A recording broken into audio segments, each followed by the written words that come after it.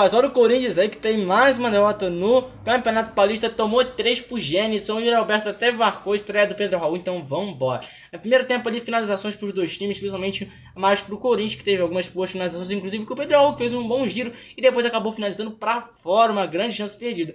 Quem não faz, leva o Novo Horizontino mais pro final do jogo, já nos acréscimos ali do primeiro tempo.